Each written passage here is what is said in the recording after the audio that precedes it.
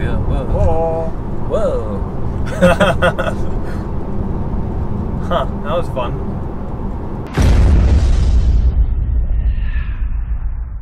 Today we're going to do a quick autopilot test on 2018.46.2, which Erik got, I think, the day that he took Yep. possession or took delivery of his new Model 3 performance car.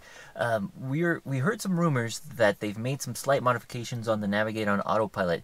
Before, when you had Navigate on Autopilot, if the car in front of you was going too slow, it would give you suggestions to change lanes to the left or the right. But once you were in that lane, you would stay in that lane and it never had you move back over. And in many places, many jurisdictions, it's the law that you're not supposed to stay in that lane unless you are passing someone. So we heard this rumor that once it makes that change into that lane, once it is safe to move back into the right lane or left if you're in England, then it will move back over to the regular driving lane instead of the passing lane. Specific to 2018.46.2. Yeah, exactly. So we're going to go try this out and see if we can get this uh, new feature to work.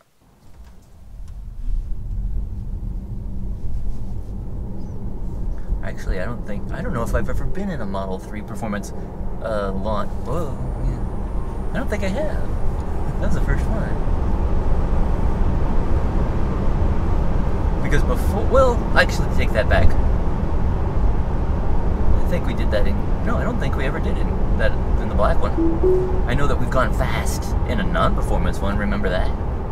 Yeah. So the key is having the max Yeah, said high, so that it'll. set higher so that it'll push us over. Yeah. So we're just gonna actually just set it to the max. But we need that lane to go faster than this lane. Okay, confirm. So that worked. Okay, so okay, and then hopefully it will take us back over to the right lane. I almost feel like there's too much traffic. Yes, that's what I'm thinking. I thought it would be slower today on a Sunday, but Confirm again. so is it gonna go back? Oh, it's going left again. Oh.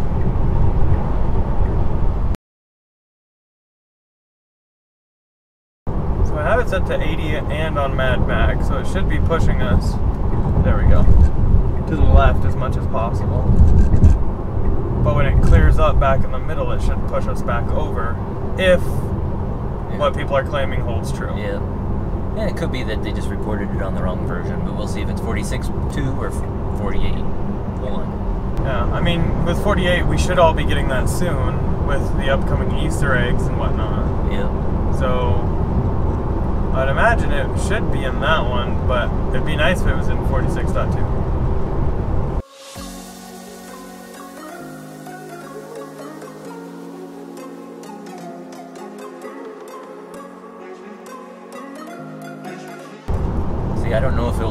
because it sees that other car up there. It doesn't see the other Well, I mean, it, it might though with the radar. It might be like a. We'll see.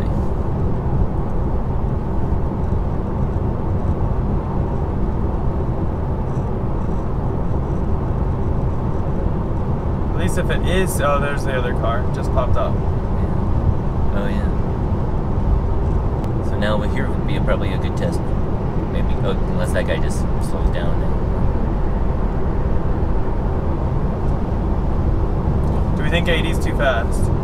Could be yeah because Should we drop it down to 75? I guess So here is a good case. We're going 75, no one in front of us, yeah. but we could easily do 75 in the Try lane to doing the right. yeah. We could easily do it. Hmm. Now I guess the right lane is slowing down a little bit. Let's see if we just drop it down to 70 and see if anything will prompt it to move us to the right There should be plenty of room now. Oh yeah, plenty of room. It can't see that car up ahead. I can't really uh, even see it. No, so I don't. So I don't really see Navigate on Autopilot wanting us to move yeah, over at all. I guess just go ahead and we can turn around up here. Does it know this lane ends? I don't know. I guess we're gonna find out. Look at all the lanes. It's probably the most amount of lanes I've seen. It was like five. I don't think it knows. I think it's just gonna like cut over. Oh yeah. Okay. So this is another thing that would be nice if it would Yeah, because it didn't improve blink. upon because it no blinker at all. Yeah, it's like, oh, let's go. I assume if there was a car there, it wouldn't have done that. I don't know what it would have done I don't know. Maybe we could, we should, can try that in the next one. Yeah. Whoa. Oh. Whoa. huh. That was fun. So in our testing so far, we weren't able to reproduce this uh, new feature that people have been talking about. So I'm thinking they might have been mistaken on the version, and instead of 46.2, maybe it's in the 48.1 version Yeah. that's out. Um, Or if it, they did have it on Navigate on autopilot, maybe they were getting close to their exit and it was prompting them That's- to get back over. That's also. possible too, because I've seen that when I come home in the evenings. There's our road. We have two lanes that that, that continue straight, and we have a third lane that is for a little while, and it has had me change to the right to get into that exit, and it does it automatically sometimes. But that Yeah. I was thinking that might be the feature, but it looks like that could have just been the you know taking the exit grab automatically. But see, we're now going slower than that right lane, and I have cars behind me, Mhm. and it's not wanting me to get back over at all. So I don't really think Navigate on autopilot will push you into the right lane unless you're getting close to your exit. Yeah, not not Which, yet. which is a bummer because in some states, actually most places, it's illegal to ride in the left unless Yeah. you're passing. Yep. So it doesn't look like we have that yet. So that should be coming in the next update that we get. Yeah, so hopefully we get 2018.48. dot something Dot one, I think, is the Soon. latest one. because that's the one that's supposed to contain all the Easter eggs, which hopefully they turn on by year's end. Uh, really should contain a lot of stuff. Hopefully it contains something like this too, because this is something I really think should be in autopilot, especially navigate on autopilot. Yeah. uh, just for safety concerns and everything else.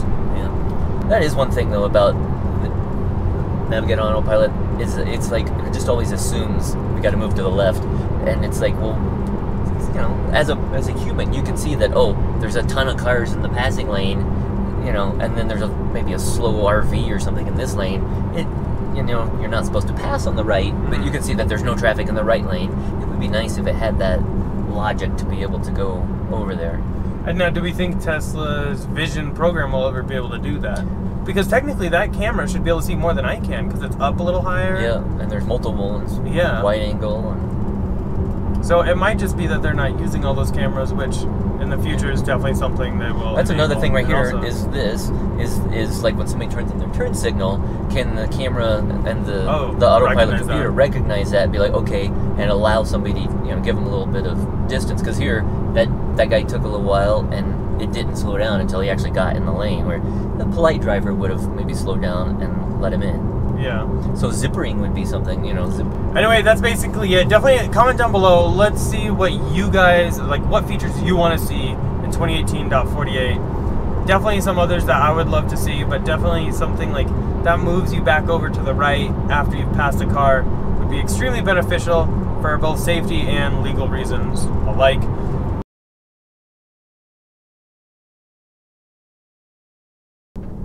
Oh, I had a dream that I was doing something trying to do autopilot, and I forgot to turn autopilot on, and we were like going over, like into the, you know, the ditch or whatever, and then I was like, oh, and then I was just holding it slowly, like hoping nobody else in the car would realize that that the car was going off the road.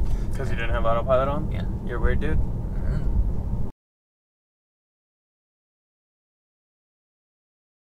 Also, we did get our invite to the Boring Company event, which will be held on Tuesday, December 17th at night. Uh, let me know down in the comments if you guys want me to try to live stream any of that. Otherwise, we'll have a video shortly after, probably sometime on Wednesday, of what exactly goes on. Should be a good event, so definitely subscribe for that. But yeah, as always, if you guys are looking for a Tesla, definitely check out our website, teslainventory.com. If you are going to be buying a new Tesla Model S, X, or Model 3, feel free to use our referral code. It's down in the description below and at the top of our website.